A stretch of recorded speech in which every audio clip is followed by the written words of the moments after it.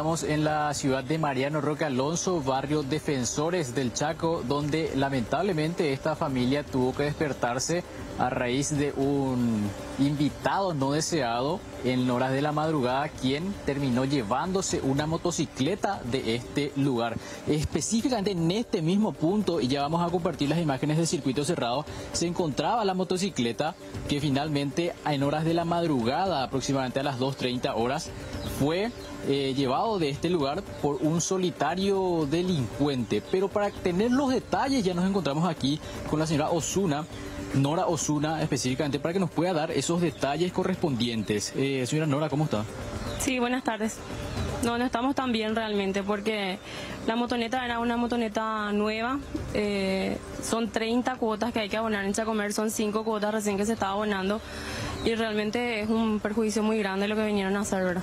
¿En qué momento ustedes se dan cuenta o se percatan de que alguien ingresó a su domicilio y ya se estaba llevando la motocicleta?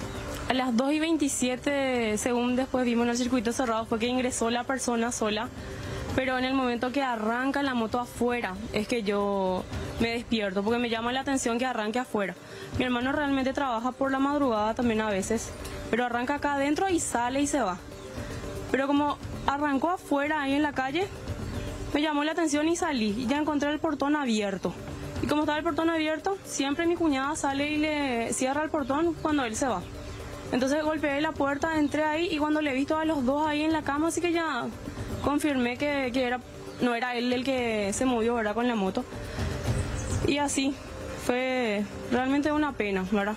Incluso vemos que acá el, el- el guardián, digamos, la casa acá del perrito, tampoco sintió la, la presencia del delincuente. No, y él, él, él es súper grande y es muy bravo cuando está. Pero el problema es que justamente él no estaba. Después nosotros estuvimos viendo todo lo que era la imagen de, de circuito cerrado y 15 minutos antes él se va a la calle. Y a los un minuto que la moto se arranca, él viene entrando hacia la calle ya con el portón abierto, ¿verdad? Entonces, suponemos que, que alguien le llamó, que le llevó, o algo así fue lo que sucedió para que él no esté en ese momento acá. Un detalle importante que mencionaba señora Nora es que esta persona eh, llevó la motocicleta andando desde aquí. Entonces, eh, incluso nos decía que encontraron restos de cable acá, por lo cual se puede suponer que él ya estuvo manipulando la motocicleta como para sacarlo y arrancar directamente. Sí, porque nosotros vimos, y 27 él entró acá, se agachó unos minutos y 32 él ya estaba afuera arrancando. Arrancó la moto, prendió las luces y se fue, como si fuera el propietario de la, de la motocicleta. En este caso ya le hicieron el seguimiento correspondiente a través de las imágenes del circuito cerrado de esta, de acá de la vivienda y también de las viviendas aledañas y la denuncia, por supuesto, a la policía. Sí, la denuncia que hicimos ayer a la noche, en realidad vinieron la gente de la patrullera, pero finalmente le pasamos las imágenes nomás eh, por WhatsApp para que ellos tengan tipo para hacer una alerta entre los que estaban patrullando a la noche, ¿verdad? Y esta mañana sí me acerqué a la comisaría a hacer la denuncia, pero a las 3 de la tarde recién me van a dar la, denuncia, ¿verdad? Por escrita. Según me dicen ellos que van a, a enviar tipo una alerta a todas las comisarías, entonces cuando se hacen los controles eh, se va a pedir la documentación y eso porque todos los documentos de la moto está dentro de la moto. Alguien, cualquiera, cualquier mujer puede pasar como propietario de la moto. Si bien la moto es de mi hermano, estaba mi nombre. Entonces cualquiera puede pasar como propietario de la moto, porque todos los documentos están ahí, están al día. ¿Qué características tiene esa motocicleta como para que también la gente pueda eventualmente observar y hacer la denuncia correspondiente de esa motocicleta en particular?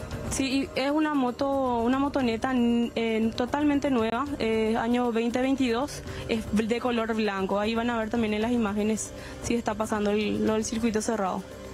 Incluso con respecto a esta persona que ingresó, se nota que ciertamente es alguien joven y Sí. que es bastante habilidoso, digamos, por lo que realizó aquí, cortó los cables, arrancó y ya se llevó la motocicleta. Totalmente, eso es lo que desde un principio pudimos notar, una persona con facciones delgada, alta, eh, aparentemente joven, está con un pullover con capucha, con tapabocas desechable y realmente la persona se ve tan bien y tan sana que, puede conseguir un trabajo, ¿verdad? Yo no sé de repente si es un vicioso o algo, pero lo que yo creo realmente que el problema acá radica en, en, que hay demasiado poco control y las, las leyes son muy blandas. Muy blandas con las personas que hacen estos robos, porque seguro dicen, Es una motocicleta nada más, eh, nadie salió herido. Nadie salió herido, pero ahora cómo mi hermano se mueve, cómo se va al colegio, cómo se va al trabajo, cómo le busca a sus hijos de la escuela, o sea, son muchísimos factores.